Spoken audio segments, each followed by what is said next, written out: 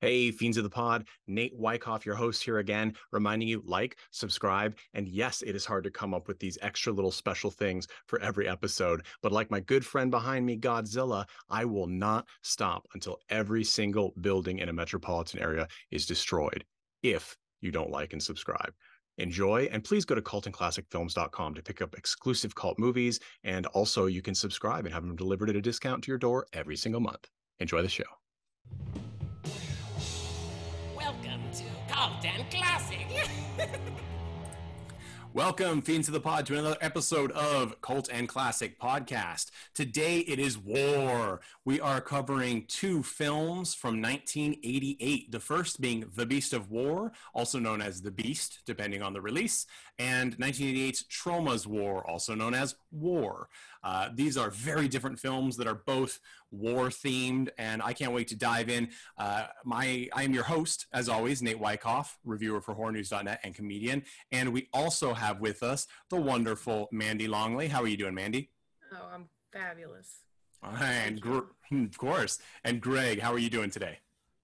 Uh, I'm a spooky ghost for all of the Patreon people, so we can see Yes. that, I guess. Yes, Greg Johnson is translucent for this episode. Again, if you want to join our Patreon, uh, not only do you get all of our awesome content, you get videos of us so you can see us discuss these films. You can also see our uh, most of our interviewees as well, like uh, Josh Grannell, aka Peaches Christ, um, Donald Farmer, things like that. And if you donate five or ten dollars a month, which is not that much, uh, Starbucks does not need your money as much as we do.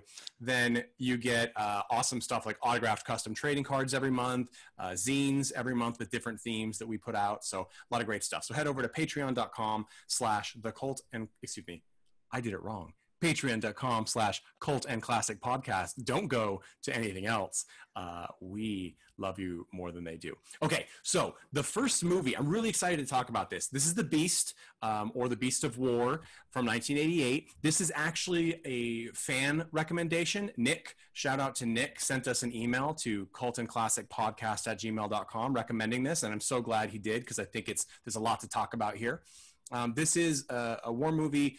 It's about um, it's a it's there are no American soldiers in this movie, um, even though there's a, an American cast for a lot of it. It is about a Soviet tank.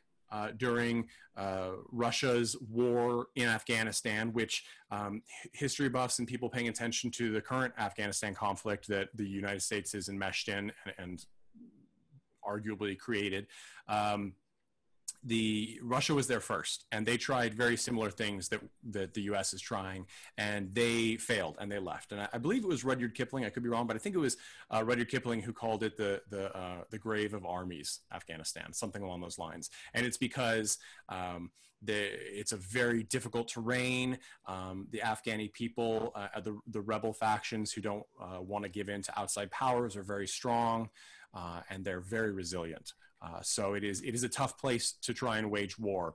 And this movie follows a Soviet tank who, at the beginning of the film, obliterates and brutalizes uh, an Afghani village in retaliation to rebel attacks. Uh, and then they get separated from their unit, and they are stuck in a, a canyon.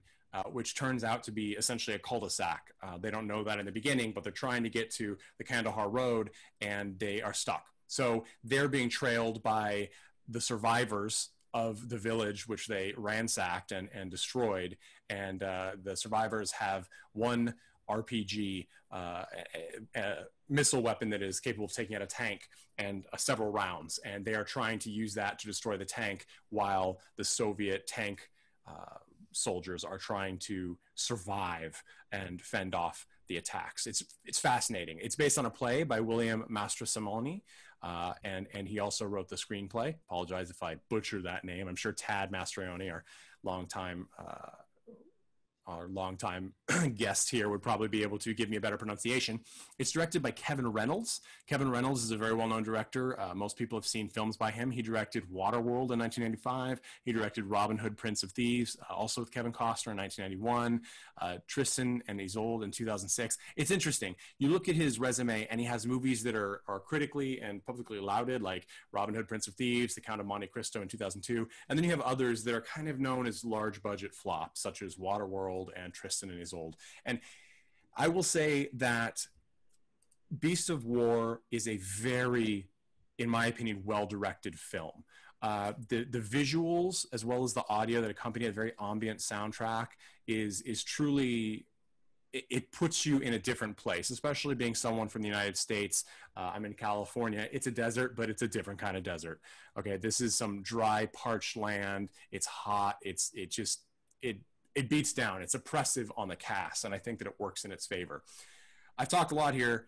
Uh, just going into that, Greg, what did you expect going into this movie, and how were those expectations met or bucked? Um, well, I mean, considering some of the other films we watched, I was expecting pretty much uh, fucking anything. Um, I think I was bucked though because I was ready for something a little more culty, and this was this was a real classic. This was good. Um, thank you, whoever um, our listener that recommended it. Thanks, it was thanks to Nick. really good. yeah. Um, I I thought it was interesting that it was um, based off of a play, um, which since you butchered the uh, the last name of the of the writer, um, let me butcher the name of the play, uh, Nanawati, um, Yeah. Which they actually they say during the film and discuss. Um, I I'm kind of curious why they didn't keep that name um, for the movie going forward, just because um, the Beast or even the Beast of War, they never like you, you'd kind of think that since it's about this tank, really they refer to the tank at some point as Well, it's interesting. They refer to it as the beast, but they refer to it as a beast in the Afghani language. So they don't actually say the beast. Um, it does seem like a, a, a marketing technique. Um, and you mentioned the um, uh, the word that uh, means essentially it's sort of like uh, for those of us in the U.S. the Pirates of the Caribbean, you know, like um, parlay, right? Like it's it's like oh, uh, essentially I I beg for your your mercy even though you're my enemy kind of thing and uh, let's listen to this. This is actually where uh, nanwati is, is brought up. And again apologies for my uh, super white pronunciation. Uh, but this is uh, the actor erick avari who is super fantastic he was um, cecil and mr deeds dr terence bey in the mummy of 1999 uh, he was kasuf in stargate 1994 one of my favorite films basically anytime um, a big United States film needed uh, a Middle Eastern appearing individual who had um, sort of a wise man vibe. They chose they chose um, Avari, and and it's totally worth it. He is incredible, and I think that he has a very kind demeanor, and it plays to his role in this, where he is um, a an Afghani man who's been educated outside of uh, of Afghan, so he speaks English, and he's working as the translator uh, and a soldier in the Soviet tank unit, uh, but he's not trusted by uh, the commander and the other soldiers, except uh, for Konstantin uh, Koverchenko, who is essentially the main character of the Russians. He's played by Jason Patric. And he's talking, trying to get to know and understand and learn from Avari's character here. And let's listen to this. This is a conversation after they've gotten lost and they've already been attacked by the rebels once, and now they're they're camped out at night by the tent. It's called Pashtunwali. It's the code of honor. Pashtunwali. Three obligations. First, milmastia, hospitality. Milmaski. Second, badal, revenge. Badal. Third, nanawatai, the obligation to give um, sanctuary to all those who ask. To all. All, Even the enemy. all. What if I kill your brother? And you come for Badal. Revenge. And I ask for uh, Nanawatai. Then I would be obligated to feed, clothe, and protect you. It's incredibly civilized. What is it? Nanawatai. Nana Wate. So, uh, and again, I want to mention that that uh, speaking with uh, Avari is uh, Jason Patric's character, uh, Konstantin Koverchenko, and Jason Patric. Listeners will recognize him as Michael from The Lost Boys.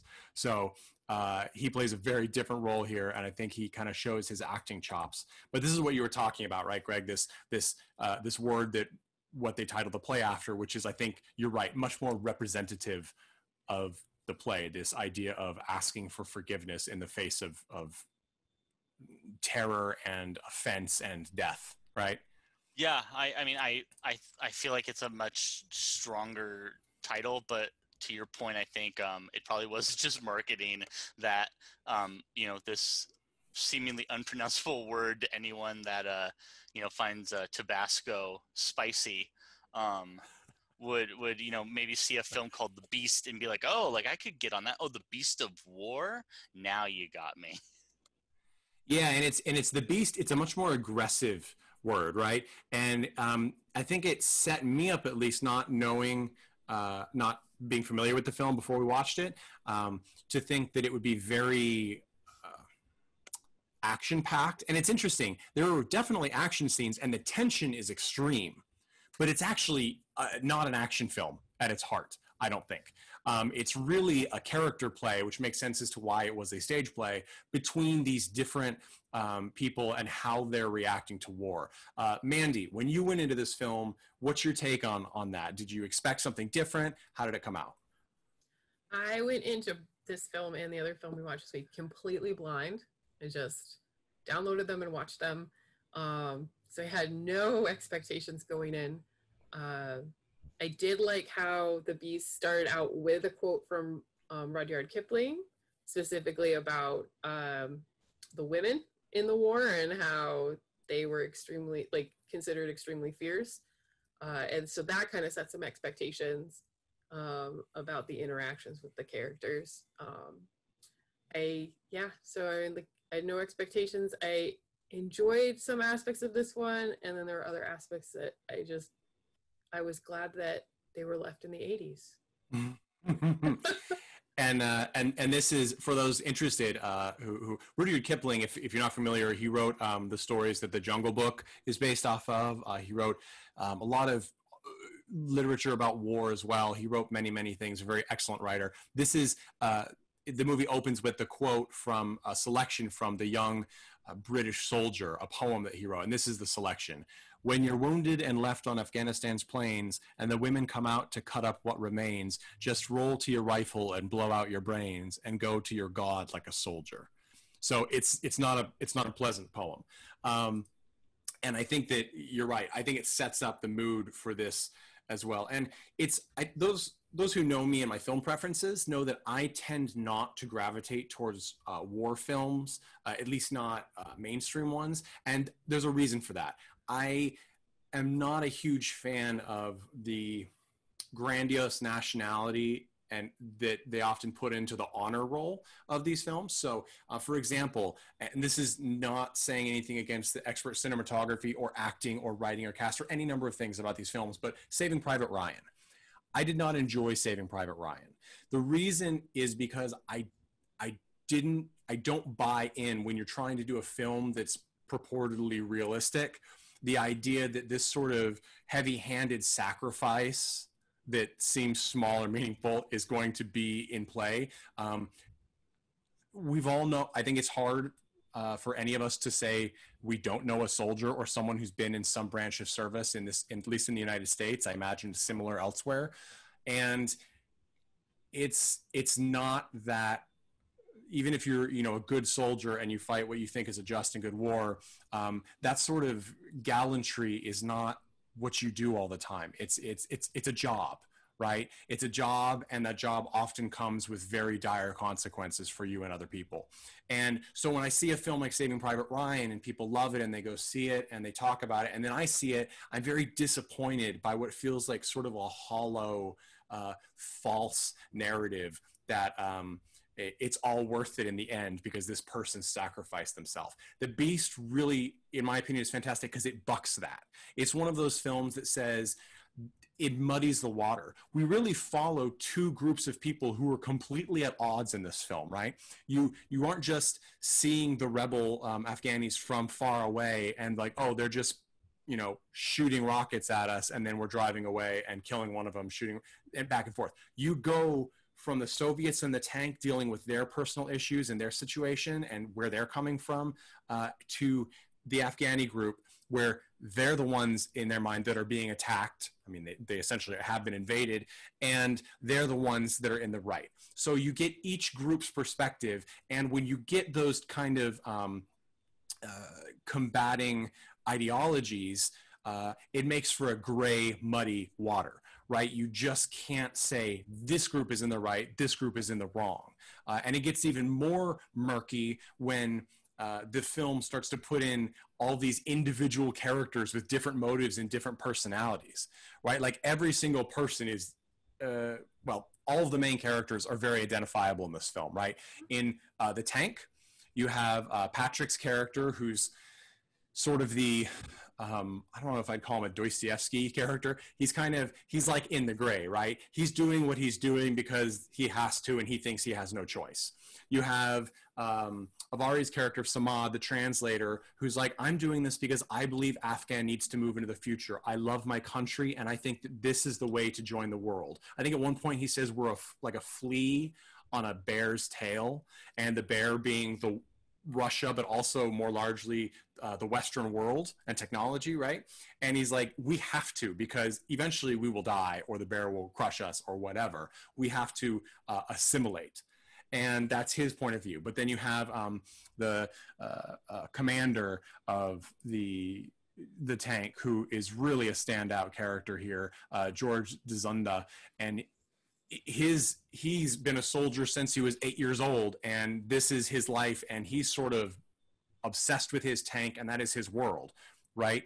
Uh, and it's sort of an Ahab whale situation. And then you have the Afghanis, and you have them um, with one person is like, my family was just killed. Now I'm the Khan, leader of the village, right? And now I have to make the decisions, and it's not just me anymore, it's all of my people. You have the woman whose husband was brutally murdered by the tankers uh, at the beginning of the film, who she doesn't care what the Khan says, she wants bloody revenge, right?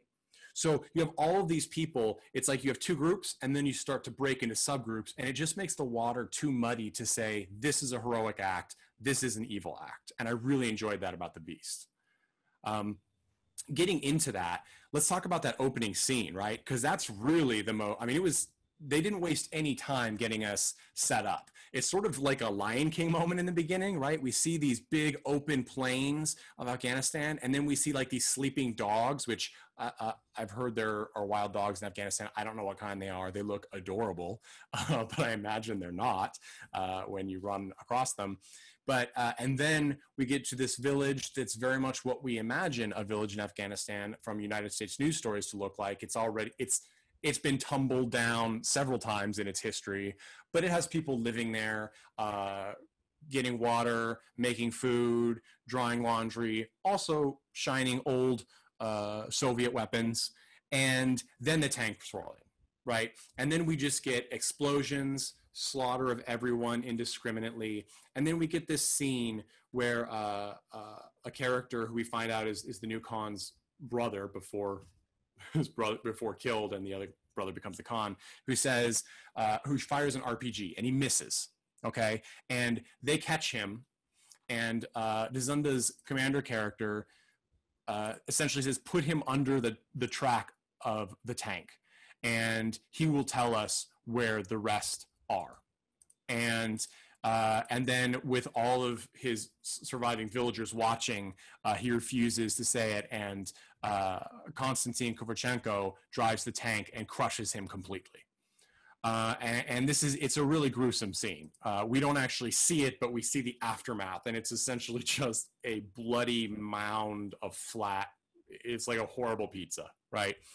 And I don't know about anybody else, but this is the moment to me where the film, probably 10 minutes in, if that, says, This is your message for the movie, and we will carry this out to the very end. Um, and I wasn't sure. What were your reactions on that scene? Mandy, what did you think when that happened? First of all, I just moved and my Zoom background was flipped. So, And he's a um, ghost. I'm a ghost. Uh, so I was blown away by the opening cinematography hmm uh, of the whole scene uh, of just like the opening of the movie, and then I was just really like, um, just like drawn into this world and like trying to figure out like what is this movie all about? Because I didn't watch a preview or read anything about the movie before I watched it. So I'm like, who's who's the protagonist and the antagonist of this movie? And as the movie like unfolds, like even a little bit through this scene, it's like it's kind of unclear. Like, oh, clearly the Russians must be the bad guys. They're like doing this horrible stuff. But like, there's also some like context in history that sort of points at like, well, is like retaliation for other things that are going on, and like maybe they're looking for specific like players in this theater of war or something. Um, so yeah, it was just like it was very uh, it just drew me in. It was um, very compelling. Well, and the cinematography, as you mentioned, it's a huge part of this movie, right? We essentially look at desert and then some sweaty people and a tank for, and there's a one cave that we see at one point, but that's all we see for an hour and 49 minutes. And I personally did not find it dull. Uh, it's very, very well done. And uh, Doug Milsome is the cinematographer for this film, also works later uh, with Kevin Reynolds on Robin Hood, Prince of Thieves, but also is probably most well known for being a cinematographer on Full Metal Jacket. So this is not um, uh, Doug Milsome's first rodeo with a war film, but also, I mean, these big budget films, and he's still working today. Uh, really excellent work, and I, I think that it it helps set the tone. Um, Greg, what was your what was your take on this first major battle that really sets up both sides, right? Um, I mean, uh, like like Mandy said, I mean, I think it really sets kind of this um this tone of we have we have a lot of action going on. I mean, they they are really laying into this little little village, and um, it it's not um, it's not grand though. You don't feel good about it. You're watching them just blow this place apart, and like Mandy said, I mean, you're kind of like, well, maybe they're looking for someone, but you don't get the sense that they're there to really do anything seriously strategic. It's just kind of we're gonna wear the enemy down by killing them. They're Yeah, civilians, th- like all of them. Yeah, you believe when the the Afghani uh, rebels show up there after it's been you know essentially mortared. I mean, they're firing tank frag shells into shacks the size of uh, you know a 10 by 10 room right in some of these cases like there's just they're laying waste to it for really what seems like no reason to us. Uh, and then they catch people and they really don't seem to have a great reason either. Um, but he says uh, why did they do this? Uh, the new Khan says why did they do this? And and the the older uh, man that they refer to as uncle says retaliation. And that really is it right? Like it sounds just like oh well we got attacked back there so our orders are to go and just blow shit up um, to sort of eye for an eye. And it sort of adds this i mean of course we're talking about um, uh, uh, the it's it's there's you know it's not Christianity in this case, although we, we could probably assume that this, the sol- Soviet soldiers are Christian if they are religious. Uh, and then we have the Afghani rebels, uh, who would be a form of, of uh, uh, follow a form of Islam. And it feels biblical to, to those of us in Western society, right? You're in a place that we see most often when we're watching some sort of Bible story biopic. And, uh, and it's eye for an eye. It is a nasty, cruel situation. And you're but you're seeing like you said you don't feel good about it. Right away you don't feel good about it. There's no triumphant music. Um, it's not a a glorious it, there's no it's not an a team right? Nobody's like flying off of a building like ha ha you know like oh what a stunt. It's impossible to watch it and and admire the technicality of it uh, because it's gruesome and it's unpleasant. And uh, it's uncomfortably realistic. The gore is good um, but it isn't another i'm gonna i'm gonna rag on saving private ryan i guess today. Another thing it's like saving private ryan it's like oh this guy gets shot in the head. Oh this guy takes his helmet off for one second gets shot in the head. It's not that it i mean i certainly wasn't there so i can't speak to it. There are many soldiers who said that it was like that and i totally understand and respect that. But when we're shown it on film why are we seeing it? Is it to make an effect or is it for the sake of gratuity? And in this I found it more horrible because what we saw was not gratuitous. It felt much more realistic. It's like there are people who are just wounded, and then there are just people who are dead. And yes, maybe that person is missing a limb, but most of them are just dead. And it's really uh, uncomfortable. Um, and it, it looks more like news footage than it does a very slick production. Um, and, and of course, we get this. Uh, uh, one thing I'll say about the realism that, that is interesting, and I'm divided on it, uh, is my wife watches with me, and they made the decision to none of the Soviet soldiers speak with that sticky American version of a, of a Russian accent. Everyone speaks in their natural voice and cadence, which uh, uh, for the for the Soviets, um, the Afghanis speak uh, in an Afghani dialect. I assume uh, it sounds legitimate to me. I certainly don't know. I'm no expert. I'm sure others would who know more about it would have different opinions. But the Soviets speak in their normal tone of voice, which are varying degrees of uh, U.S. English accents. And on one hand, I respect that decision because so often we typically see it in, in movies where they try and give them a fake British accent and it doesn't work very well. Like, oh, well, this person has like an, a, a, a Welsh accent and this person has like a central London accent and it stands out to us but we just kind of accept it and move on. By the same token, I kept having to remind myself that these were Soviet soldiers and not United States military. Um, and I don't know which would have been better for my uh, desensitized, you know, desensitized lens. Uh, if they tried to make them sound somewhat Russian, so I would have thought um, that they, I would have remembered that they're Russian or not, because it does something uh, I don't know if you guys felt that way or not. It does something to to be like, oh, these guys are speaking English in the way I expect an English person to speak English, like an American person to speak English. It made me think that they were just like me, which is more disturbing because, of course, they are. And Russian people are just like me, and so are Afghani people. Like people are people, right? But when we see a war movie, we expect them to have different accents, and that way we can go, oh, but they're whatever, you know, they're Ukrainian. Uh, that's different than me. And in this case, we don't take that; it's taken away from us. Um, the, the, the Russians who, at, I mean, 1988, of course, were still feeling the effects of the Cold War. And now, of course, we still have tension uh, sort of renewed with Russia. We're getting this vibe of um, they're just like us. And I wondered, this is a long way to go to this, but I wondered if that was one of the reasons you guys think that this film is not well known in the United States because as you said it's got a fantastic cinematography very tense atmosphere and i think it's a very well done movie yet i certainly had never heard of it.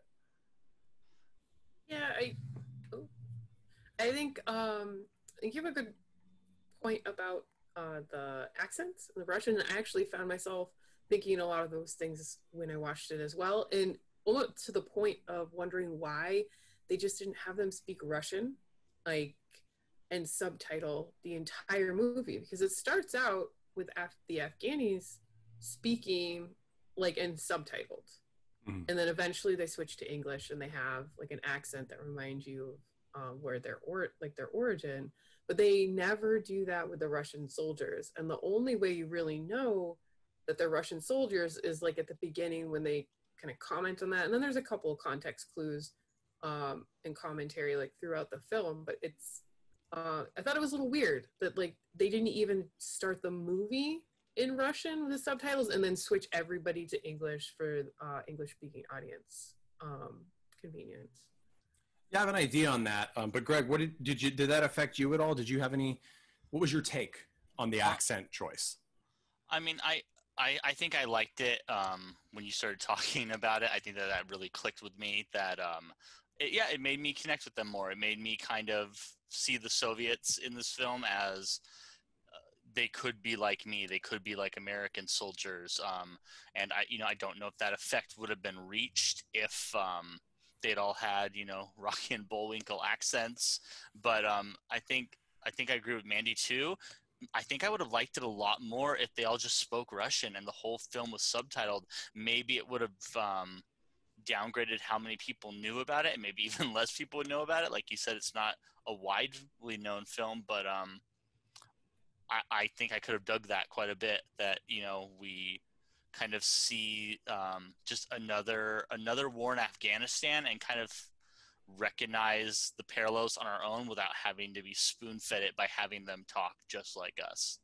Yeah, that I, so and that's why I think that there's benefits to both sides, right? And the idea of having them speak Russian, um, I I imagine marketing was a big decision about it, but I also wonder if it was more a a technical choice that was well, probably none of the cast we want speaks Russian at all, Yeah. uh, and and also if we have, I, I think that even I think the decision to have the Afghani um, rebels speak in uh, uh, non-American uh, language because they actually are dubbed the whole time. And I think that when I think Mustafa, he calls him co- uh, the Khan calls him cousin. I think he uses some, um, if I remember correct, some English words every once in a while. I think that it's almost indicative of the uh, cross. Um, uh, pollination of the West. And we actually, because he, when he uses English words, we don't know if it's supposed to be that he's using English words. It's probably that he's using then Russian words that are just being spoken in English. It gets this weird, like, uh, tricky thing. And it's, and, and that sort of makes sense, right? Because that Mustafa character that the Khan's always arguing with, even though he's on his side, kind of, is um, what they call a scavenger, right? He's the one that goes, they kill Russian soldiers to take their equipment and sell their equipment. Um, and and so he's more interested in his own monetary gain and that's sort of that idea of um, even though uh, the soviets at this point were were pushing for communism it's it's really a, a it's a commercial communism right um, they're they're still working in the in the world marketplace and make, people are making money they're oligarchs so i thought that was an interesting play i my thought on the it's sort of like when we talked about Videodrome. If, if those of us, uh, our listeners, haven't listened to our episode of Videodrome and Terrorvision yet, go back. I think we got some really awesome stuff in there, and those are interesting movies to look at. But Videodrome took place before the internet was known at all, yet had strong connections, I think, to our current internet. And this movie similarly has even more so huge connections to the US involvement in Afghanistan, which is interesting because, of course, this is before the US involvement in Afghanistan at all. But because we're watching it now, I found myself constantly being like, I wonder if they did that because, oh, wait, they couldn't have. They didn't have a crystal ball telling them what was going to happen in the future. Um, but this, my guess is, is that this film doesn't rerun on TNT constantly or USA Network because um, it has a distinctly uncomfortable message for those of us living in the United States right now. Um, of course, there are lots of other things on our plate at the moment with COVID and our uh, dumpster fire of a presidency, all these things. But when I watched this movie, it made me think okay, the decision to have them not just speaking as they normally would in US English, but very distinctly unique accents of English.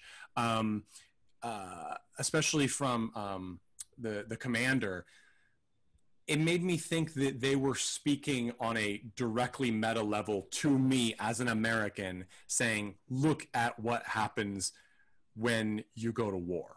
Uh, and the commander's character's name is, is Daskal, and again, that's George Dzundza. And there's a there's there's a there's an interesting parallel um, between that, that's drawn by the character of Koverchenko in this movie because Koverchenko, the the plot of the movie is this tank's being chased by the rebels, right? But the big turning point is that the commander starts to uh, turn on his own men, right? He's he's very protective of his tank. Um, he doesn't trust. Um, uh, Samad's character, and there's this brutal scene where first he tries to get Koverchenko to kill Samad, right? Samad gets he tells him to get out of the of the tank and check the perimeter because they just have gone crazy shooting uh, and blowing a flamethrower into the dark because uh, they saw 25 soldiers trip their sensors they'd put out. Well, he tells Samad to go out and check for survivors, and then while Samad is outside, uh, the commander tries to get Koverchenko to kill him from inside the tank. He says he's a traitor. I know it. I can tell. Kill him, and he won't do it.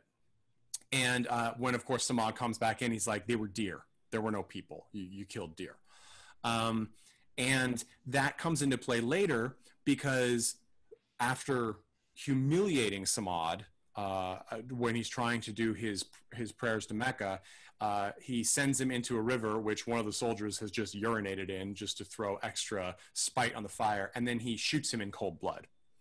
And Koverchenko's horrified, and that's that turning point where we see that Koverchenko isn't just unhappy, but he's moving to that point of nihilism, right? Where it's like, it doesn't matter what I do anymore, so I might as well do what I want, uh, which is go against the commander. And it results in the commander eventually tying him to a rock in the middle of the desert uh, and sticking a live grenade under him so that if he moves, the grenade will potentially blow up. And it's a booby trap for the, uh, the Afghani rebels to find who are tracking the tank. Um, of course, he, he gets out and then he, he uh, says Nanawatai to the, the Khan, and the Khan respects that. And then Koverchenko literally turns to the rebels and says, Yes, I will help you kill the tank because I know how to fix and use this RPG. And Which, then it be, um, I, Yeah. I wanted to kind of uh, going back to what we were talking about with them, um, you know, speaking in English Mhm. with clearly American accents. Um, at the end of the film, I thought it was interesting when you know all's said and done, and Pachenko kind of tells off his commander, and I think he he literally calls him a Nazi or Yeah. refers to them as like the Nazis, and you know I I'm not Russian. I don't live in Russia. I don't know what their feelings are on their alliance with Germany and then Germany's betrayal of them and how they view them, like how we do here in the States anyway. But I thought that was a weird choice to have him kind of like use an example of evil that American audiences would understand. And I don't I don't know if uh if someone in Russia would kind of hear that the same. And that was, you know, one of one of the last lines of the movie or just about yeah. that's and- kind of that's kind of the message that we're ending on. Well, and let's let's listen to this. This is um, uh, the the commander um, George Dzundza's character Daskal talking to um, uh, everyone in the tank that's left. Samad has been killed, and it's it's I believe this this falls pretty much right before Koverchenko is is uh, tied to a rock. Basically, they're in the tank. It's dark, and uh, and here he's talking. When I was eight years old, defending Stalingrad, I didn't think for myself. When the motherland asked for our lives, we gave. My father didn't think of himself, he gave. My mother didn't think of herself, she gave. My brother didn't think of himself, he gave. My comrades tied a rope around my waist and, and lowered me on top of Nazi tanks. I stuffed Molotovs under, under turret and cannon and, and they pulled me up again. Eight years old. They called me Tank Boy. I took a lot of Nazi tanks. Lot. So there's this interesting thing. Like we kind of get the feeling that he's already snapped a little bit, right? Um, although I think that that's sort of a loaded term because when we say snapped, we think that there's this like on-off switch. It's that moment when a character goes crazy. This character is not going crazy to my. This is his character. This has been his character. He is not progressing towards madness. He is this person. Yeah. Um, and this was really interesting because the idea is that uh, Koverchenko, which again, kind of this, I think Dostoevsky, um, it's sort of like he is uh, educated, unhappy, and he's he's also got the logbook right where he's keeping record of all the actions of everyone the demerits um, the the accomplishments um, things that are very dangerous to daskal like uh, him uh, killing samad in cold blood or uh, uh, the uh, his his his gunner who was distilling liquor from the brake fluid causing their brakes to be problematic in the tank. Like all these are being written down and physically kept by constantine's character and that makes him extra dangerous. And he is now because he is somehow uh, problematic for the commander he's a traitor and uh, he thinks for himself is the big problem in in Daskal's eyes, right? He thinks for himself, and that's why he goes off on this tangent. And then when you were talking about uh, calling him a Nazi at the end, it's it's almost a little more than that, right? He's not just saying like you're a Nazi. He's saying, uh, how does it feel essentially for us to be the Nazis this time Yeah. because Mm. they're the invading force and um, you know following blindly then is the implication as he says you're supposed to do as a soldier causes exactly what he was so proud to have fought against. Um, and it, it, it literally just crushes him. I think that that's the moment where the commander uh, i mean his tank's been destroyed so his one sense of like he, he's so proud of it right? Like that's his world. That's destroyed at the end finally. It's, it can't be moved. The tread is blown off. And they're left to just wander in the desert presumably for god knows what to die presumably um, but of course the women show up and brutally murder Daskal, which it's hard to it's hard to argue that he didn't deserve it. Um, if he just wandered through the desert uh, and we didn't see what happened, it would, at least for my American sensibilities, be a little disappointing. Um, Yeah, for a for a film that definitely wasn't about glorifying war, there was something very satisfying about watching those Afghan women just beat him to death. so probably They stone were him. Right? all about the stoning. Oh yeah. they were Oh, all yeah. about the stoning. and there um, and it's interesting because we'll get into this with Troma's War too, but there is a, dis- a surprising amount of parallels between these two films, even though they are radically different films with rat- of a radically diff- radically different caliber and genre. Yeah. um, but it, it really is sort of I, I like there's a lot of um, mirrored scenes in this film. Um, for example and it probably comes from the, the the its background as a play which is there's the scene early on we listen to where koverchenko is talking to samad uh, and they're eating bread. He offers them bread and they're eating uh, and they're learning about each other. And and and more than they're learning about each other they're sort of finding this connection between each other. And then samad's dead. Koverchenko's been betrayed by his commander uh, and he's been given an uncomfortable um, parlay by the Khan, and they're in a cave, and he's uh, and he's given bread, and when he's eating, and he's uh, eating, he's supposed to eat first before anybody else can get it, right? So he's offered bread. He takes the bread, and then he and the Khan begin to form their relationship, which is interesting. It's a different relationship than we saw with Samad because they have a different level of communication ability between each other. Um, but I thought it was very interesting because Koverchenko is the uh, he's this he's in both scenes, but he's sort of on the opposite side. He's offering bread in the first one and learning from Samad, but in the second one, he's being given bread and he's teaching. He's repairing the RPG he's offering his skills or, or granting his skills when asked.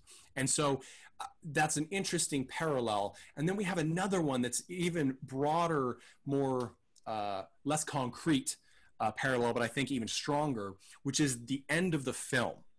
The end of the film uh, is, of course, the soldiers, uh, the surviving tank members are, are sent off. The women killed Daskal. Um, and then they bring back they say sorry khan couldn't do what you wanted and she's covered in blood and she drops the bloody boots and belt of the commander in the dirt and he's horrified because for twofold one it's gross but also probably because he's been defied right like his he's still trying to find his leadership he's only been khan for what like two days um, and uh, and he and then khan is like he's trying to take uh, to get Koverchenko to come with him. And Koverchenko does it first. They retreat because there's a Soviet chopper coming in. And they start to pull him in. And then he's, Koverchenko stops and he, he keeps the rifle, the, the Afghani decorated rifle that uh, the Khan has given him, but he takes off everything else and he waves down the chopper and they pick him up in a hoist. And he's carried off through the air, hanging there, just hanging there, right?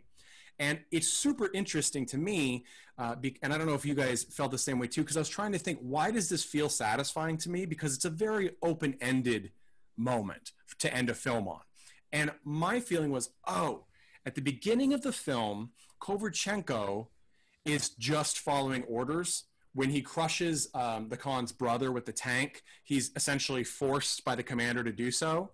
And then Samad later says, You always have a choice. You know, it may not be a fun choice. You may not want to make the choice, but you always have a choice. But in the beginning of the film, he, doesn't see it that way. He's powerless and he's just going with the current. But then by he makes this choice in the middle, right, to work with the Khan and blow up the tank. And then at the end, he goes he goes and he's physically going with the flow. He is 100% not in control of his ability to do anything. So it's sort of like at the beginning he's in that position and at the end he's in that position and we're left to wonder what is the actual change that occurred because he made a ch- clear choice in the middle and then at the end he's chosen to essentially to potentially go back to what he just was at in the beginning of the film. We don't know. Is he going to go for a discharge and go home? Is he trying to get back to russia? Is he going back to the military? Right? Because the commander insinuated that he's been insubordinate before and that his next step for insubordination will be prison. So we don't we just don't know. And that's a really weird moment. It makes it feel so uh, it made me feel like there is no hope for the situation right? Which sort of goes back to that rudyard kipling poem in the beginning. Like Mhm. oh you want to do this? Well here's how you do it right. You shoot yourself in the head because there's no way to do it right. That's the only eventuality. I don't know what your guys take was on that because to me watching him fly through the air just completely limp as the credits rolled was powerful and it took me a while to discover why for me i felt that worked I guess I mean my initial reaction was um, opposite of yours. I felt hopeful um, that he kind of he saw his choice of he could stay there and just kind of live this new life, and that was fine. But he had kind of been doing the same thing in the Soviet army. He'd just kind Mhm. of been there living his life. he's still in war right Yeah. like But if he went back, um, he was the record keeper. So his job is, you know, he's probably not going to change anyone's mind, but he's going to tell the tale of this this happening, and maybe one other person, you know, kind of gets the message of maybe we shouldn't be in Afghanistan anymore, um, and kind of that like he's willing to take the long journey. He's willing to plant the seeds he may never see grow that sort of thing. And also, you know, we we we liked him. He was our protagonist, and it was happy to see him leave Survive. alive. Yeah. Yeah. So so that's why I took it as hopeful with just the surface level. He's alive. He's escaping. Great. That's that's what we want as a viewer. And then maybe a little bit under the surface of he's making the hard choice to probably get court-martialed. I mean, most likely. well because we but- don't know the other two soldiers are alive right Yeah. So, and they probably are not that far off. So, are they going to pick them up and what are they going to say? Right? Because in one, it looks like he saved them because they were going to be killed by the Khan's men. And then he was like, no, let them basically just let them go in the desert. They'll die in the desert. Um, which, you know, maybe at, at least it's a chance. Um, and so we don't know how they're going to paint it because they didn't like the commander by the end either. Um, and we should mention too, uh, one of the other soldiers is played by Stephen Baldwin in a very interesting role. He plays the sort of seemingly greenhorn soldier who gets injured early on and does the whining. He does an okay job, but his part is relatively minor. If you didn't, if you weren't familiar with Stephen Baldwin's face or didn't pay attention to the credits, I don't think you would know that it was him. Um, Mandy, what was your take on the ending? Oh, like some of the stuff Greg said, like it is like, you know, nice to wrap up the end of the movie with the protagonist like going home, sort of. Um, but it it didn't feel super satisfying because the whole movie was very um ambiguous or very open about um, what was happening in this war. There were no good guys and bad guys, really. I mean, there's definitely some troubled characters that um, you were not happy, you were not unhappy to see meet their fate at the end. Right. Yeah. But uh, yeah, it it wasn't particularly satisfying. It had me thinking back to like our high school English classes, and I was wondering if one of our uh, specific English English teachers would have painted him as a twisted Christ figure, where he was having like his re-rising after several days um, away f- like from one life, um, like a s- certain kind of death, and then wandering in the desert, and then like kind of going off being reborn. Well, because the into imagery is there, life. right? He's Right, he's, he's, he's and, like, crucified on a rock. Yeah. yeah. Right, right. And then he's found by these other set of people, and yeah. And I was just like, oh, she would have loved to have told that story and and taught that lesson from this. And I was never a big fan of that, but I did think about that um, when like this this particular Christian imagery was used um, in this film. Well, and I also thought it was fascinating because um, the the Afghanis when they're when they're following the tank, uh, and it's not easy for them. Like it, obviously, the people in the tank are like, I don't know how they're surviving. It's it's impossible out here, but they're doing it. Um, but it's clearly not easy. Um, and they're they come across a holy man who's dancing around a fire talking in what seem to be riddles and then you realize because he's talking about goliath being slain by david and, and the khan coming through the desert oh it's david you're going to slay the goliath and like what the fuck are you talking about and he's like goliath and he points and there's the tank tracks and they're like oh it's a good sign maybe. And they go and then here's the thing. If i were koverchenko and this whole sequence of events occurred and i knew it I would convert to Islam because you're like, this seems prophetic, right? Because he's like, you're going to, you know, David will slay Goliath with a stone. And then, of course, it's the women actually using C4 and grenades that uh, blow up uh, a rock ridge over um, the bottleneck where the tank has to exit the canyon. And that's what eventually disables the tank. And it's literally the stone uh, not the rockets. The rocket doesn't work. It just it destroys their barrel of their tank and they've already run out of shells. It literally is an impotent weapon. Um, but the rock is what does it. And it's super there's all sorts of imagery there. But i thought that that was i mean i don't think that this film sets out or succeeds uh, at being pro-religion in any sense i think that it no, sort of it, it, it, it eschews all um, organization because it's like, look, this country's shit. Uh, the the Afghanis are not doing well either, uh, and the the religion seems like grasping at straws. It's a very unpleasant. I mean, there's so much. In my favorite scene in this is that sort of like black irony, which is um, the tank uh, on while trying to lose the rebels. They come across an oasis with water, and knowing that the rebels will use the water, they get their water. They get it for the tank, and then they poison the water. Well, the rebels, one rebel dies, but they figure it out before anybody else drinks the water. Well, of course, the rebels know this and the soldiers don't. The canyon has no outlet. So they have to eventually turn around and come back the way they came. Well, at their apex, when they've gone as far as they can, when they realize they have to turn around, they think everything is great because a copter comes and offers to rescue them. The commander says, No, we're taking the tank back. They get fuel from the copter, and the copter, which is looking for water, says, All right, well, we'll radio ahead and get you some more fuel. We're out of here. Well, when the tank finally backtracks and gets to that watering hole, all the copter crew is dead because they found that poisoned water supply. So they essentially killed a unit of their own men, um, which, and also they don't know, it turns out they probably did, but they don't know if they radioed in for help yet uh, before they were killed. So it's really the, the, this karmic payback, right? But it's, it doesn't even, it feels like an aha moment, but it's not a rewarding moment for the viewer. Like I didn't, it's not the sort of gratification moment, like the reveal uh, and capture. It's not the Scooby Doo moment where they pull the mask off and you're like, aha. It's just a bleak. How could things get worse all across the board? Um, and that sort of oppressive. It's like the sun in this film, right? The nights are black and the daytime is blinding and it's these harsh contrasts that make the film seem so oppressive and i think really accentuate these moments where the characters sometimes don't even say anything they just look like they don't say like i can't believe it we killed our own men they just look at the dead bodies and are like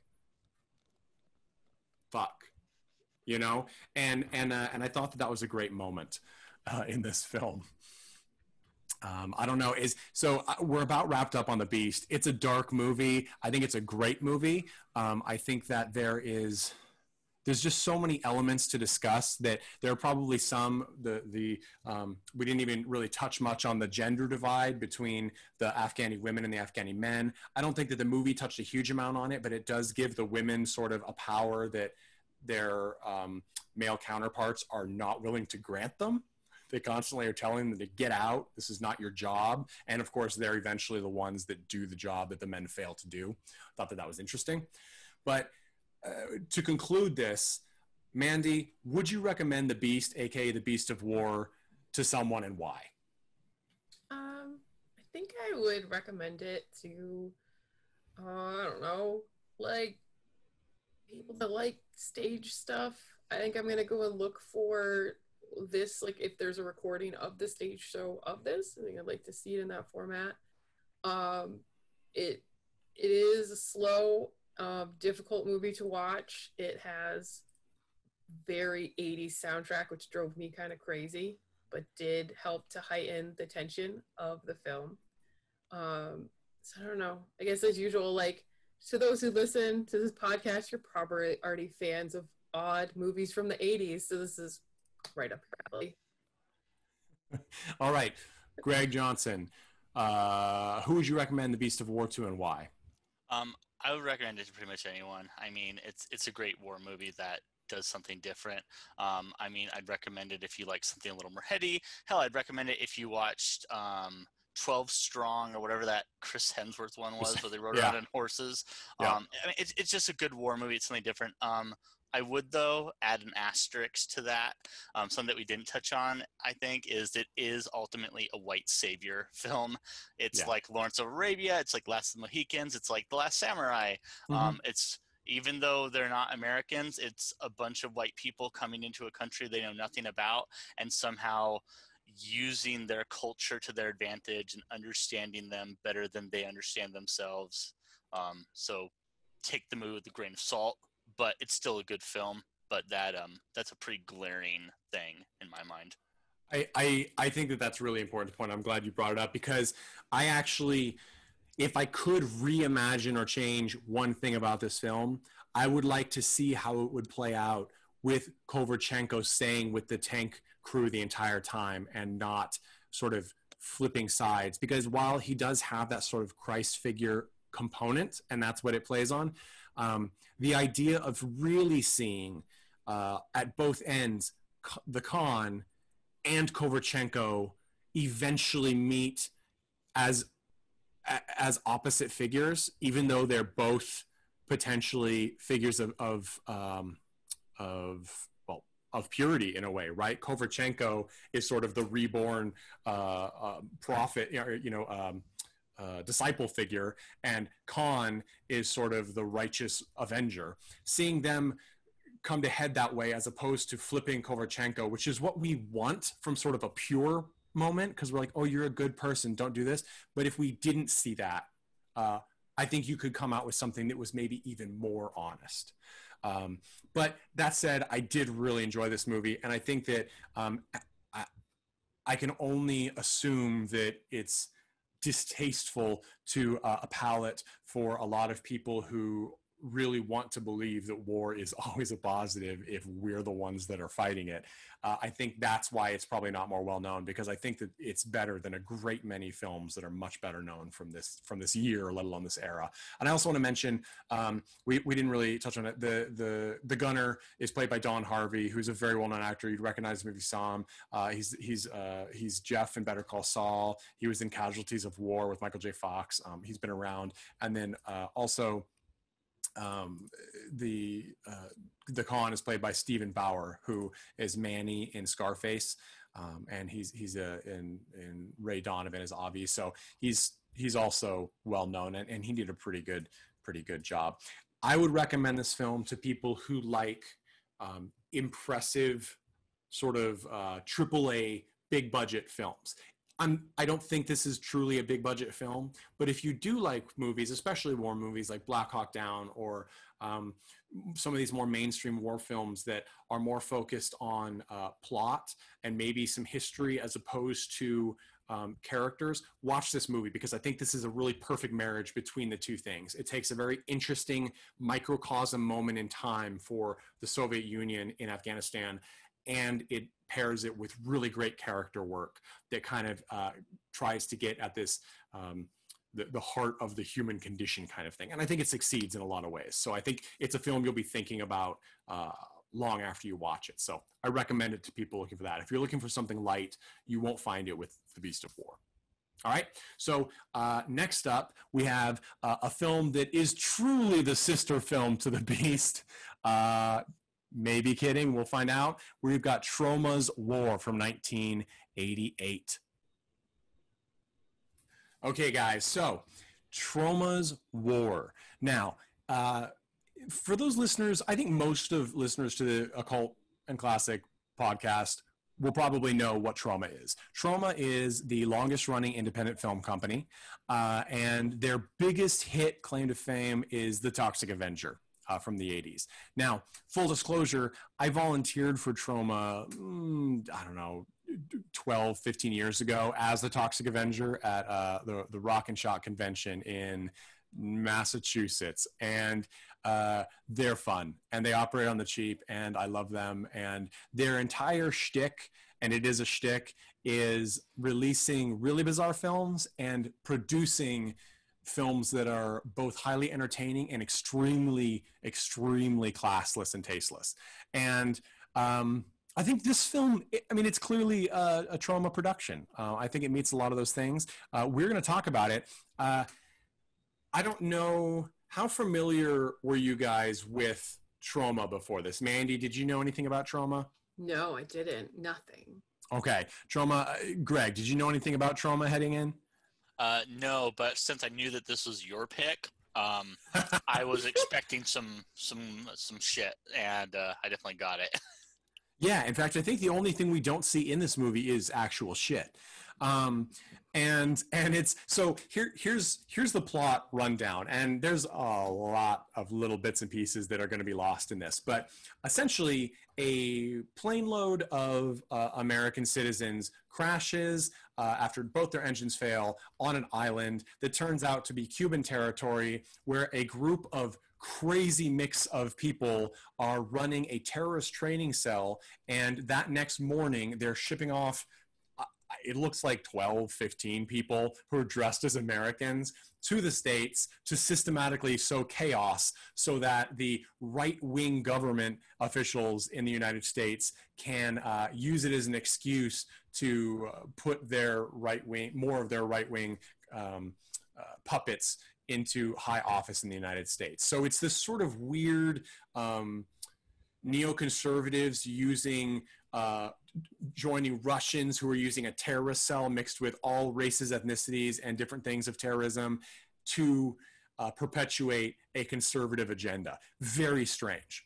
Um, but as we uh, know that the film starts with a plane crash and a bunch of survivors, it is, in fact, the pilot to the Lost television show.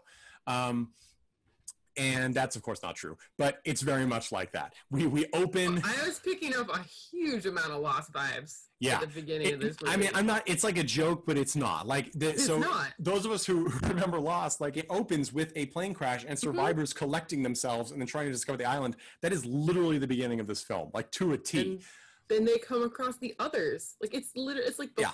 whole first season right of lost in like 30 minutes Yeah, exactly. And by the way, this we watched the uh, extended complete edition, um, which most I think most DVD copies and Blu-ray copies now are the complete edition. It's about 10 to 13 minutes, depending on your territory, longer than the original 80s cuts that came out. Um, the uh, the things that they cut out originally um, were a couple of gore moments and um, I think a, a rape scene. And for those, I mean, rape is one of those things on film that is just so uncomfortable, just like in real life. It's a really traumatic, terrible thing, uh, and it can certainly trigger many of us. But I will say this this is not a serious film. So it was hard. It's with, tra- with any Troma movie. I did not find myself taking anything particularly seriously, even the horrible atrocities visited upon people, uh, both soldiers and castaways in Troma's War, and there are many of them. Um, in addition to to uh, sort of nothing being uh, disavowed by Troma as far as like they will do anything they will have murder rape pillaging uh, toxic avenger is famous for having a scene where uh, it's one of the best scenes in cult cinema history where a bunch of punks uh, hit a kid on a bicycle and then back over his head and it shows his head being crushed and then one of the guys says, "Hey, you want to go whatever?" and the other guy goes, "No, I got church in the morning." Like that's the level of of of Troma's ability to be like, we're gonna show you things that make you uncomfortable, and we're gonna make a joke about it. Troma's War has that, but I do not think that it is as offensive as some of their other films. In fact, I'd hazard to say this is a movie you could probably show someone who isn't familiar with Toxic Avenger, and uh, and and they would be able to make it to the end. But it is a long ass cut. It's an hour and forty four minutes. It's only five minutes shorter than the Beast, and the Beast has a lot more subtext to cram in.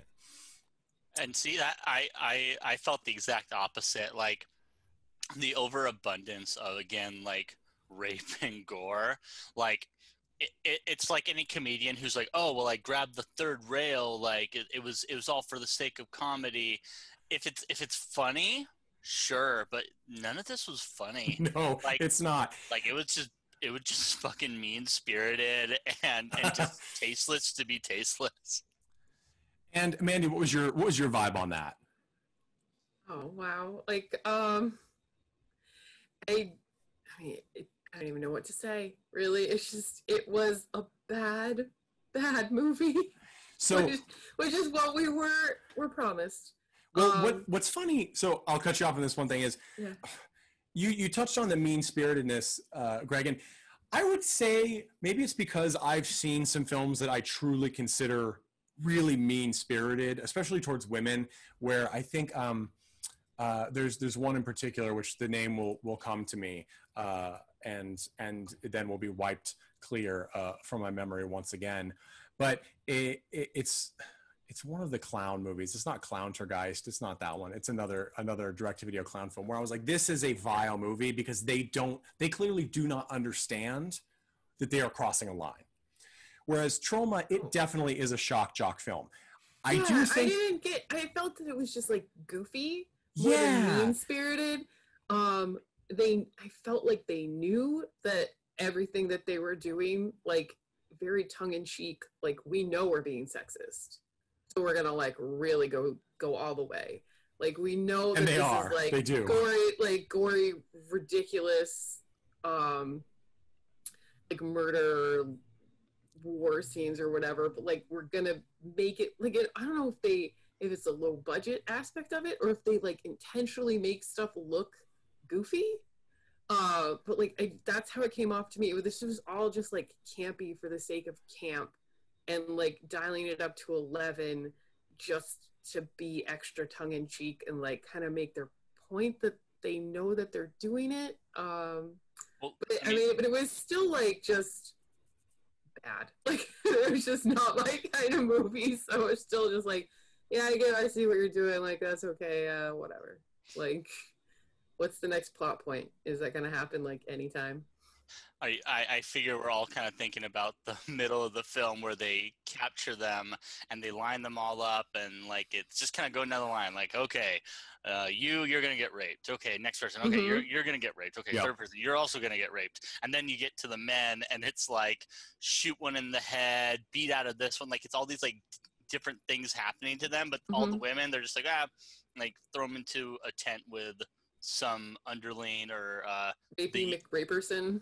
Like, Yeah. it's like so yeah. the the most problematic part of this film and and the only really famous scene that I can think of and it's really the concept that's famous not the scene is um the the uh, the terrorist AIDS brigade um and and that is by far the most insane uh completely off color offensive thing and i don't know who you have i mean even if you are someone who enjoys the high level of sophomore humor that Troma is putting out in this film, you have to be, unless you're crazy, you will acknowledge that this is really inappropriate in any setting. But they know that and they went with it. And the scene is, um, I forget what he's named, but um, it's something like, you know, Tommy AIDS. And oh it it's, it's mr aids Mr. 100% AIDS. it is mr Mr. AIDS, and he is a uh, uh, pretending to be a Frenchman in a a white uh, suit with a hat, who is picking a woman to have sex with and infect with AIDS, and he does that, and she does get her revenge by shooting him in the dick with a crossbow before herself getting shot. I don't think that that's really uh, a full full turnaround. Um, she, he he tries to say with this really bad French accent, um, "I was following orders," and it. I mean, take from it what you will. It is the weirdest, and that's the thing. This movie has an insane number of weird, weird moments, and that is the thing I like about this movie. Um, for example, uh, the pig guy.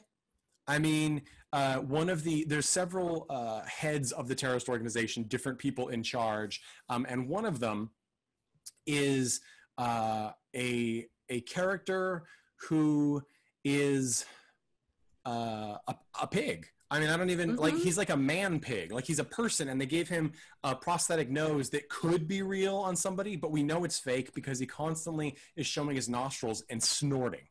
And Mhm. and let's just listen to to a clip of him. Uh, and truly, uh, this actor, uh, his name will come back to me, is doing God's work. Here we go. Want to risk our infiltration trainees who have spent years to train? Yes!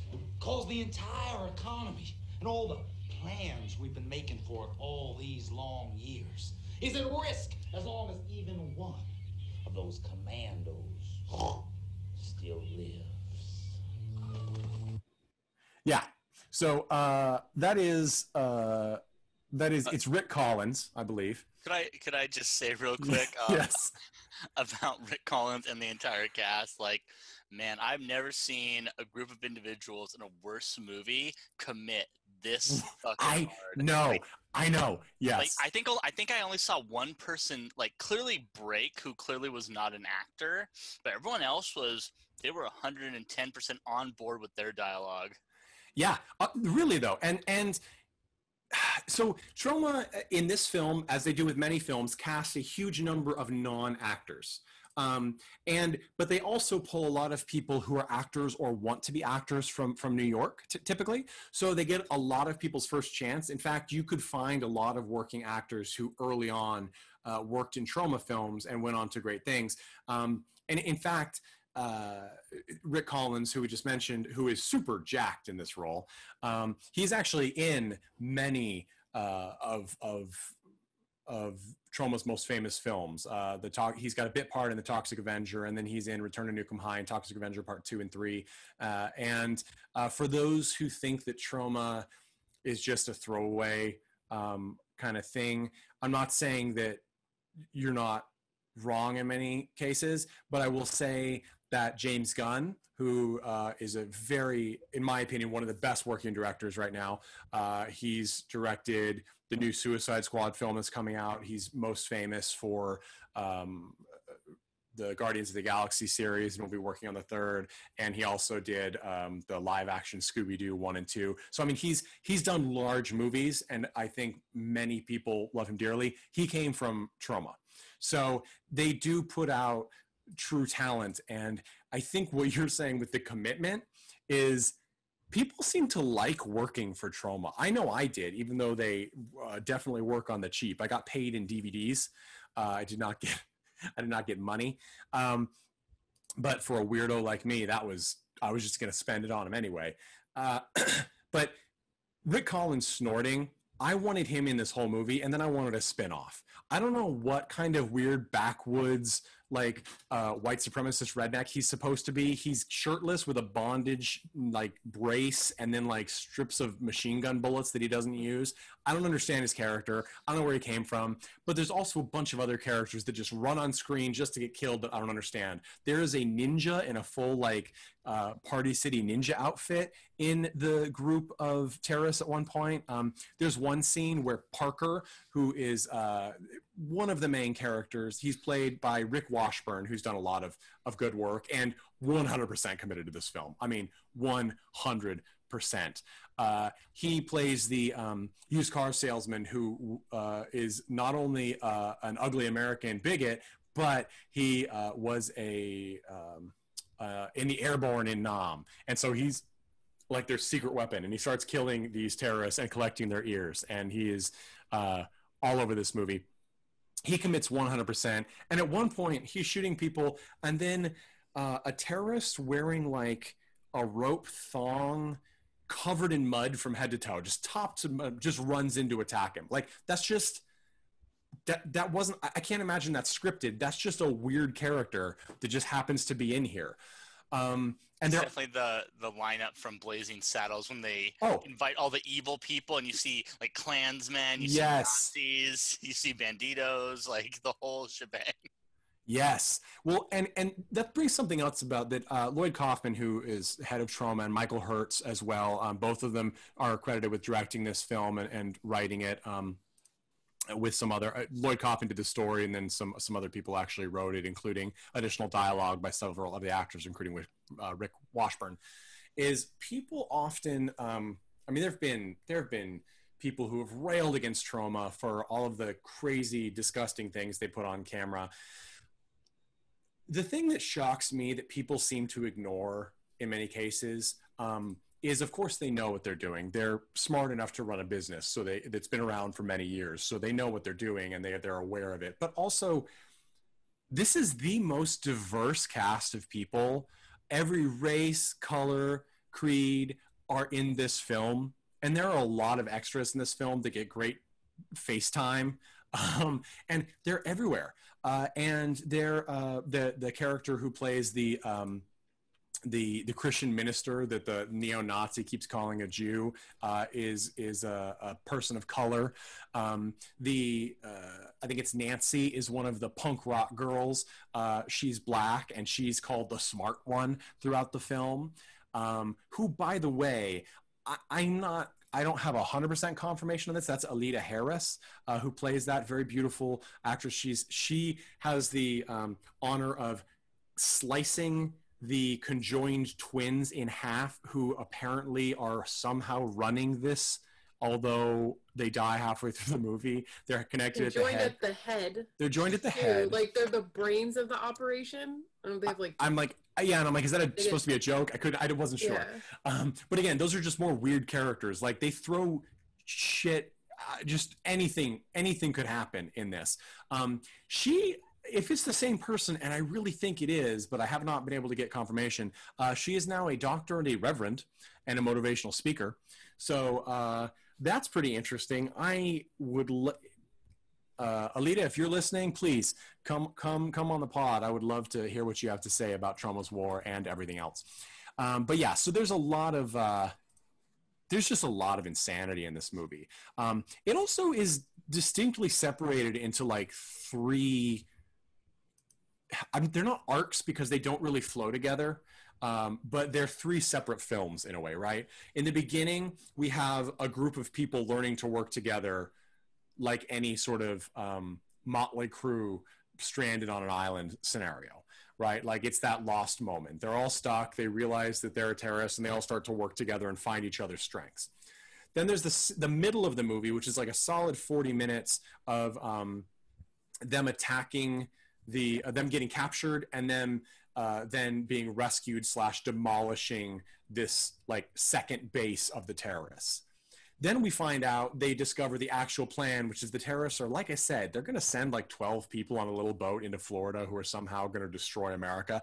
I'm not sure how that plan would have worked out. I'm pretty sure they would have got to Florida and they all would have caught an STD and died. Like Is that that's what we're living through right now, though? Nate, sure this movie didn't really happen? Oh, it's a history. It's a history. Uh, disappearing ballots. Um, yeah, no. So fair, fair. But anyway, so then they realize that they have to go and save America by destroying this other base where um, Snorty McPigman is, uh, and and that's the third part of the movie is their siege on this.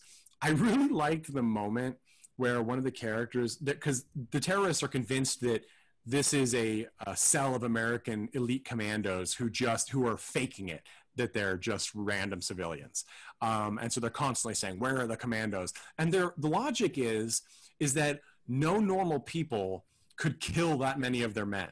Well, they're men that have supposedly been trained, some of whom potentially from birth to be soldiers, are absolutely redonkulously incompetent and incapable of anything. Like they just run into machine gun fire like you were like a, a fat kid in a 100 degree day running through sprinklers like and i was that fat kid so i can say it they're just so and th- it's it's just mad melee. Like I pulled clips from this film for us to listen to, but most of the film is screaming explosions and machine gun fire, which does not translate well to an audio only medium. And And crying babies. and crying babies. That's and there is a baby in this film which does survive to the end, which I was a little surprised about because Troma really could have thrown a, a wrench in there and said, "Just kidding." Um, I do want to say that I enjoy that uh, the baby is credited. I bel it's it's it's uh, uh, the, it's Lisbeth Kaufman, I assume related to Lloyd Kaufman, um, credited as the um, jingoistic baby. I don't know why. I'm not sure. Uh, but I enjoyed fucking because. I enjoyed I enjoyed that moment. There's I, I and as always I looked through some reviews, uh, critical and um, civilian reviews, so to speak, of these movies, and one that caught my eye was somebody saying this movie was ruined by gore and bloodshed because it could have been a really great action comedy. I don't want to know that person in real life, and here's why. The comedy in this movie would be even more insane if it wasn't covered in blood and body fluid, I think. Because you've got scenes like, um, well, first off, after they're rescued, the survivors are rescued from that base in the middle of the movie. There's a scene where essentially all of the surviving people, except the older gentleman and the older lady, and I guess a Spanish lady, the accents are horrendous. I can't tell. Um, they all hook up before they go to the final battle. Um, the newly blind woman hooks up with the overweight nice guy, uh, older gentleman. Um, the uh, misogynistic hot guy hooks up with who we're told is supposed to be an attractive woman. She's not hideous. I just, I, it's she's 80s attractive. I don't know. I don't get that whole feathered hair thing.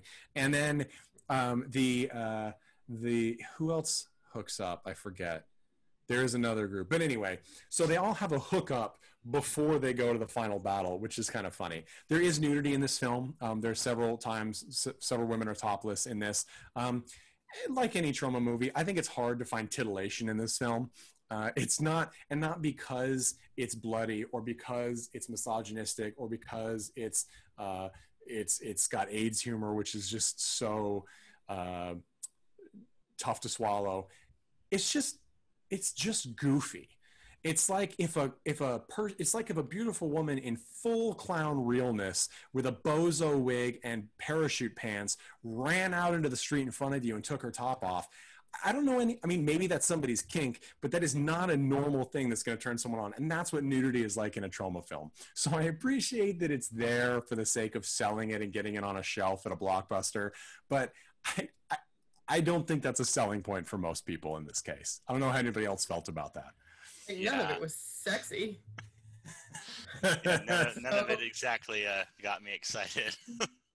Yeah, I, I, so I mean, I- and there's, and it's not really, I mean, it's gratuitous by virtue of the fact that it's there.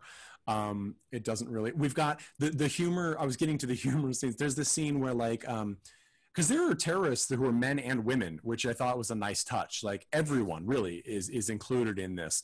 Um, and uh, this woman attacks Parker, uh, who and she's in like a, a she has large fake breasts, and he like pushes her away, and her shirt rips open, and then she's on her back, and he goes over to kill her and cut off her ear as he's done with others, and then he's like, ah, with a pair like that, I'll let you keep them. And he turns around, and then if she of course grabs a gun and goes to shoot him, and she's shot in the back by one of the other heroines, uh, and she's shot in the back through her breast, and we hear a deflation sound before she hits the ground. And there are straight up cartoon of sound effects in this movie, right? During really inappropriate moments, which is very Troma of them. You know, like a the a neo-Nazi will hit someone and you'll get a you know, like it's it's totally out there. and doesn't someone like fart in a tree and that's how they're revealed? That's how they're given away. Yeah. yeah. Um, and it's not like we just saw the guy eat a burrito. Like he Yeah. just happens to be in a tree in like a paintball mask and farts. And it's just I, these gags. My favorite insane gag is when um, the the the hot girl and the misogynist uh, guy are um, they've already consummated their relationship and now they're fighting the final battle um, and they go back to back and then he's like, I told you to stay behind. And she he kisses her on the cheek. He's like, I'm so glad you never listened to me. And then she turns to him and they both have submachine guns. And she and she like rubs the muzzle of her machine gun against his the muzzle of his machine gun like a, like I don't like like you're rubbing chopsticks together and and they close up on it and I'm like I'm not exactly sure what this is supposed to symbolize. That wasn't uh, that wasn't uh, titillating for you. That didn't. I I'm like I, I- didn't I didn't get it and I was but it was so like the fact that that moment was committed to film was it, it really did inspire me because it's it, one thing they did in this movie is I don't think they and I don't think Troma does this in general I don't think they fail to catch their vision on film. I think that what they do is they're like, well, I want this, so I'm going to do it. And that that's not everybody's cup of tea. Uh, it, I'm gonna ha- I'm gonna be honest and say it's rarely my cup of tea. And there's a lot of stuff that a lot of filmmakers put in things that I'm like, you should have cut that. Uh, some editor did not do their job. And this movie, it's all of those put together.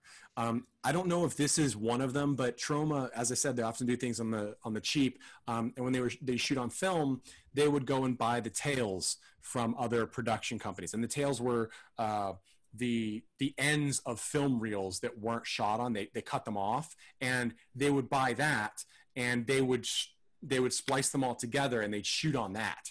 And so, and I imagine this is probably the case with this movie because the color is wildly different um, in many shots, um, especially in, in the middle somewhere. They're shooting soldiers in the trees. Uh, that's like the farting tree scene.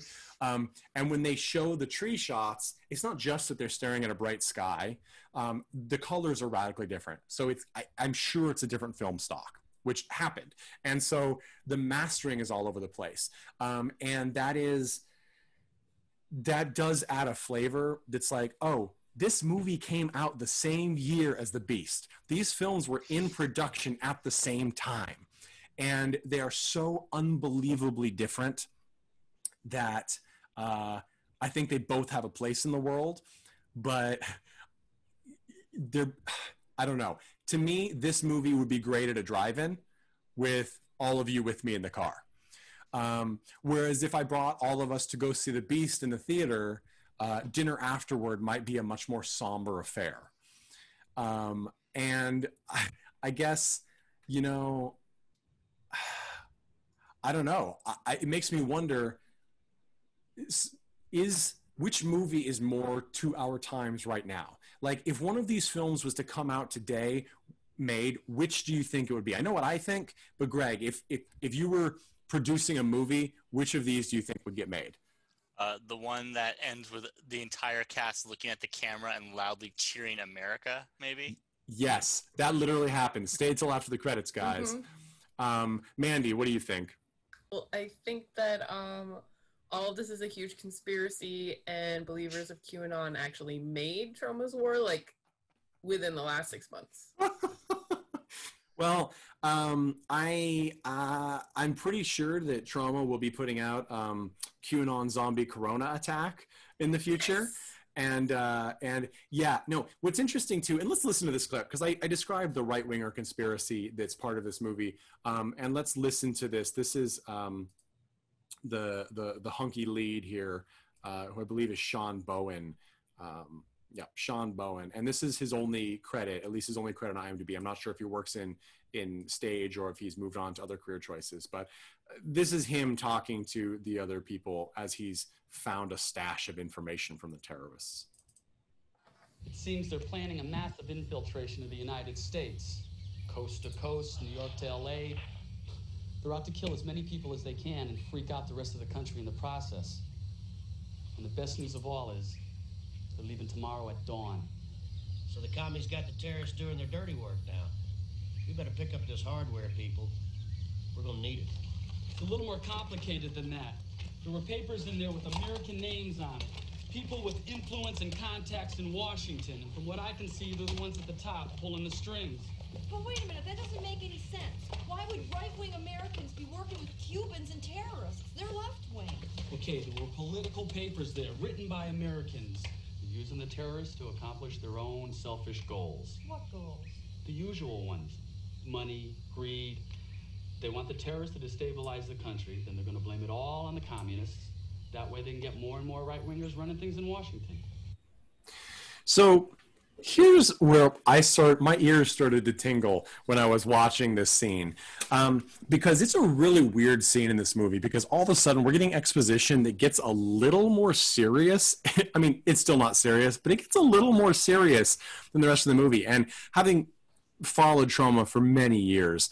Um, I I know that Lloyd Kaufman uh, he was a strong supporter of Ralph Nader, um, sort of third party politics, um, a, a liberal, obviously, um, a, a, based on uh, being a content creator, and um, there's a part of me as a white middle class 18 year old cisgendered man who uh, was comfortable growing up and always thought this is a little out there, right? Like a, a, little wackadoo, maybe. Ralph Nader's, he's not wacky. He's right in many cases. Seatbelts are great, but he's a little uh, left than even I need to be. And now in our political climate, QAnon is crazy. They're full of shit. In my, if you don't believe that and you're listening to this podcast, you don't have to listen to this podcast. You can go somewhere else. There's plenty of other shit you can listen to. But uh, there there really are people working against democratic process things like that and they tend to be people who have money and seeing things like this that came out four years after i was born and realizing that a lot of things still don't they don't change that quickly uh, it was it, it's a weird feeling it's just a very strange thing to be watching a movie that is essentially uh, a an r-rated cartoon and then go, by the way, your political system is really fucked up. And then boom, boom, you know, like it was just really weird. And I, I don't know if that ever worked to the advantage of making people aware of it or if it somehow cheapens the, the message. I don't know. But I really liked that moment when Parker, the like, you know Vietnam vet like you you know anyone who can't kill a man is a, a, a pinko and a and a you know and clearly a queer uh, you know his words not mine like that's going having him go I don't believe it and then the the lead going uh, yeah well it's true uh, there are Americans on this list that totally surprised me and it surprised me that that that that made the cut when really the rest of the movie is just gunshots, explosions, screeches, boobs, and fart noises. I mean, I, I, I thought it cheapened it. I mean, it was kind of every other word out of anyone else's mouth was utter absurdity. so to have anything even like orbiting poignant, I would just, I just kind of tuned out. Honestly, I was like, oh, mm, more, more, more bullshit. That's and it's not a joke. So I guess I'll come back when there's something that maybe I can try and laugh at. good luck with that. Yeah. Um, and and to be fair, I I actually did. I didn't laugh at anything in this film. There were a couple of times I smirked though, and there were tons of times when my jaw dropped open.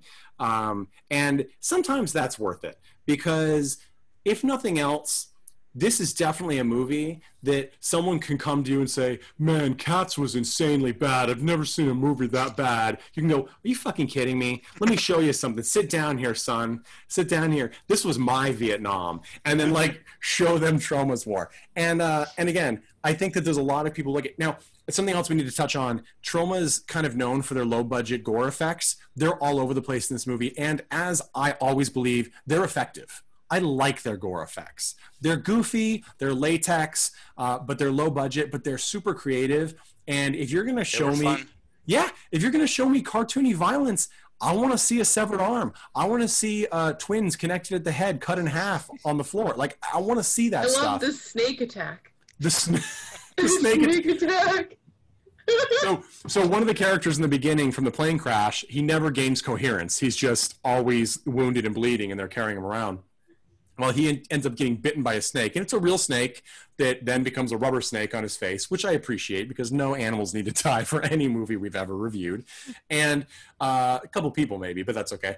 And um, and and then the, this throws us the rubber snake, and then we get this great effect of like his face just pulsates around his eye, like it just boop, boop, boop, like a beating heart. And it, I'm always like, is it gonna explode? It doesn't explode, but it's gruesome. And those the work of those like um, air pockets that they put in over under latex. I mean, Troma's a master at that. It works. You know, it's not Videodrome, but it's icky. And uh, the same with and um, hilarious, but and it doesn't make you laugh. Yep. Like all at the same time. It's now so here's the thing. The the other to me a great comedy war movie is Tropic Thunder. I really love Tropic Thunder. I'm a huge Ben Stiller fan um, of his writing and his acting, and I think that was a brilliant movie because it pushed buttons, um, but it was still tolerable to the mainstream audience. Even though, if you break it down or you take it out of context, it is truly out there.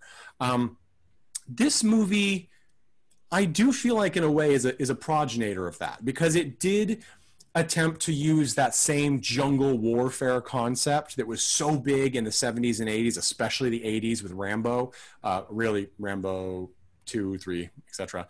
Um, it used those to comedic effect. Tropic Thunder has some true laugh moments. Um, Troma's War is more of, uh, I'm trying to think of the right term. I think um, John Waters used the term on RuPaul's Drag Race once, a beautiful obscenity. It, that's what this movie is to me. Um, it is, whereas a film like Terror Vision has really interesting characters and it's clearly a satire, this is not, it doesn't feel like a satire. It feels like an homage that they decided to um, throw in a blender with a bad 80s sex romp. And somehow the jokes got melded. And, uh, and I think it, it doesn't it may not work on the level that it's a successful film but i do think it stands unique uh, in this in this way and i think that's why because the movie's also known as war just war Isn't it also known as A Thousand Ways to Die? in It's the, yep it was released in the us as well as a thousand ways to die and which um I, I I was actually thinking about the title and you know maybe I went into the movie the wrong way. And when I look at Troma's War which Troma's it's not it's not it, it has an apostrophe. It is possessive. So it's Troma Entertainment's production of war. Yeah. um, Yes. and you know maybe I should have gone into it thinking in the same way like not another teen movie where yeah. you know it's kind of Troma presents a, a, portrayal of war and it's not going to be accurate and you should know that because it's Troma entertainment That's a very good point because I and I personally, and maybe it's because I'm just a sick person, but I much would watch Troma's War over any not another teen movie flick or scary movie flick or etc. Um, I'll watch Repossessed, but we'll go. Leslie Nielsen's a different story. So we'll, but so yes, I think that that's an accurate portrayal. And for fans of Troma, um, Troma does have like this interconnected universe where a lot of the movies take place in Tromaville. Um, and there's Tromaville High, things like that. And uh, I, and this this movie works in that universe. Um, many of the people are from Tromaville, and uh, and so it's kind of a nice side story to their Sergeant Kabuki Man NYPD, which of course takes place in New York, but it has connections.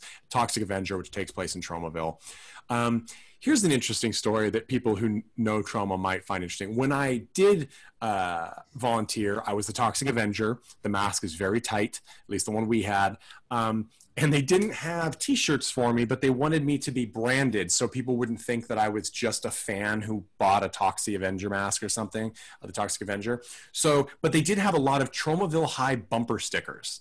So what they did is they had me turn my own shirt inside out, which was black, and then put a Tromaville High sticker on my front and back, and then made me bracelets and I think even anklets from the Tromaville bumper stickers for me to wear throughout. And that's how people, and I had a mop that was, of course, a real mop. And that is how um, people knew that I was with Troma as I wandered throughout the convention. And a surprising number of celebrities wanted pictures with me, which is funny because to me, I'm like, oh, uh, you know, Sid Haig, uh, you know, God rest his soul at this point, but Sid Haig has a picture with me that he wanted taken as Toxic Avenger, and he, he never will know that that was just some schmuck from New Hampshire at the time in that sweating in that Toxic Avenger mask. Um, side story. But yeah, I agree. The branding of Troma's War is very accurate. Uh, and if you just called it war, uh, which I think maybe was the initial intent, sort of like a 1942 or a, um, as you said, a Blazing Saddles. Like I think they kind of sometimes go for like a Mel Brooks vibe of um, ridiculous goofball comedy. I don't think it's as accurate and it doesn't work as well because Troma's War, which is the re-release branding, is accurate. It is distinctly a Troma film, and yeah, I think that does put you in the mood if you know what Troma, what Troma's apostrophe s really means. Um, Mandy, how do you feel about the branding of this film? Because when you go into a film called War, as you said, there's not actually a particular war. I think of World War II, I think of large scale conflicts. This is really like an insurgency at best. Yeah, and like at the end they say like it was a war, like weird snort. I'm like, it's like a battle, like maybe a skirmish. I don't know where you draw the line there, but I'm like, didn't feel like a war. Um, and it, it definitely just felt like the pilot for Lost. So it, you know, to bring that up again, I just, I, I was like, I, I don't understand why this got named this, and I don't know the history of Troma, which thankfully you've filled us all in on through this episode. Uh, but it was just, yeah, I was like, I don't, I don't know. It's just some campy 80s stuff. I'm here for it. It was great. so it's interesting that, and I'm sure we, we will, there are so many Troma gems that we can talk about at some point, but getting to the, there's an over like an overlaying of of sat- I do think there's an overlaying of satire in this film where it makes fun of 80s action movie shtick, right? Um, the hot guy who rescues the girl from the ocean at the beginning, and she's like, "What are you doing? Why am I topless? Are you copying a feel?" Essentially, and he's like, uh, "I don't know what you're talking about, lady. I rescued you from the water. Uh, I can't. There's a plane crash in case you didn't notice." And she's like, still mean, and then his response isn't, "Look, sorry, geez," which it would be probably now in a script. It's whatever, sweet cheeks, like uh, blah blah blah. Maybe you'll feel different later, like that whole shtick. And yet he's the hero, right? Um, and then she his butt, and he's like, "I'm so glad you are, you know, basically a raging bitch." And it's a weird, it's a weird thing. Uh, but the movie, so it sounds sexist, and it is sexist in some ways, but it also has a huge number of women in the cast.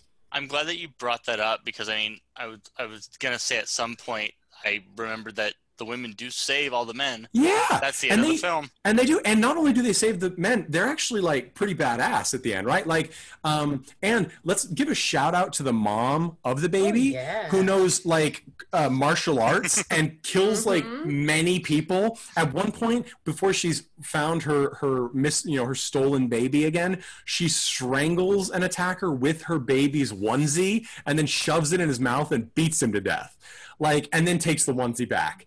And, And she like puts it over her shoulder, Her like shoulder, a like a bird cloth. Oh, mom move. yes Oh, right yes. That was she was she was far and away my favorite character. Um and we also and so the the women in the movie and like i said um uh the character of nancy is a young black girl who they even mention that she starts crying you know in the beginning crying and being upset and then at the end she sort of goes on her own to kill the mastermind of this. Um and she's called the smart one. We don't know why she's called the smart one to be honest. I'm not sure where they got that but it is really nice to see a person of color in a movie especially from the 80s being called smart. That is great and i feel like this might be the only one um, that, that stars white people where they call a black person smart and that's sad.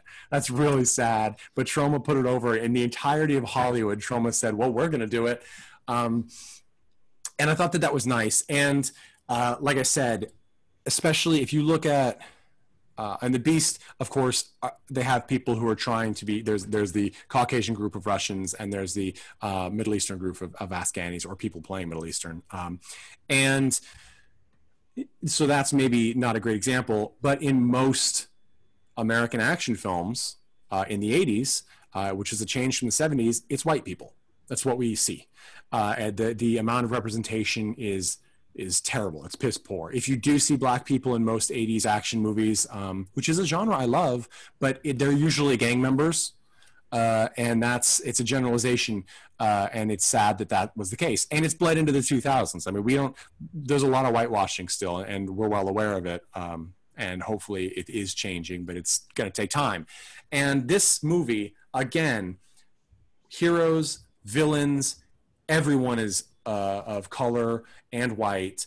And there's, uh, I believe, some Asian cast members. There are, in fact, and it's just there are and men and women, and they're all kicking ass. They're all getting killed. It truly is equal opportunity garbage, and that is a really nice, nice thing to see, especially in 1988. Because in the 70s, we did get a nice mix of people. Um, Grindhouse, I feel, was really a great thing for getting people of color on screen and some leading roles as well. And then we took this huge backswing in in Reagan's 80s, um, and you know, that's that's what that's unfortunately what happened.